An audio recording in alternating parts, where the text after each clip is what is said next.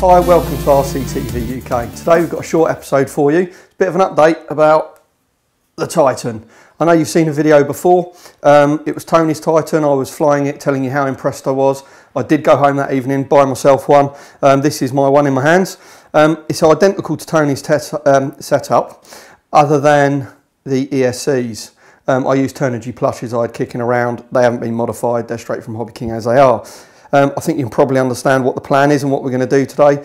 When I flew Tony's, it was, had that locked in feeling. It was just solid and I felt in complete control and it would stop where I put it. Mine doesn't do that. Um, I've got the same motors as Tony, running the same cells. Um, we've got the same setup roughly on the KK2 and um, mine's just a little bit more wobbly doesn't really um, fly like I want. So that was a bit disappointing.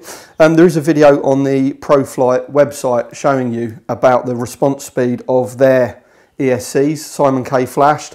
It is much, much quicker. Um, I'm almost positive, in fact I am positive, that's what's given me the locked in feeling on Tony's.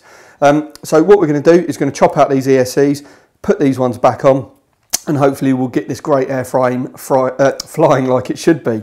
So um, we love the Titan, we love the uh, collapsible arms on crashing, the fact that it's got an almost jello free or jello free, I mean you've seen the previous video hopefully, um, the camera gimbal, not gimbal, but uh, the GoPro platform it's got on the front here gives you some outstanding footage and uh, that's what I want to get out of this and uh, I'm not happy with it at the moment. So I'll go and get the modifications done, chop in a few photos possibly, and then we'll get it out to the field and uh, get that sorted.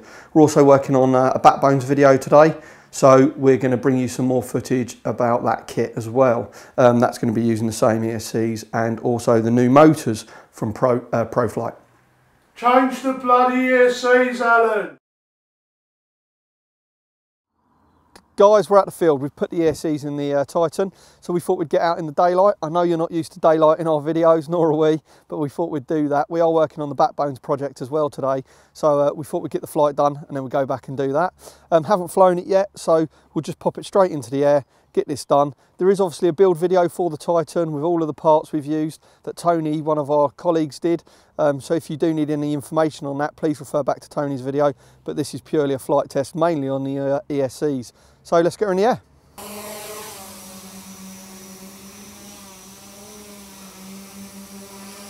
And there you go, she's uh, needs a little bit of expoing. I haven't flown it for a while because I was so despondent, but already I can tell the tricopter is uh, helping me. She's absolutely rock solid. So good investment, time to get the GoPro on it shortly and get some video footage for you guys. But, but I think that's been a success. Thanks for tuning into RCTV UK. See you soon.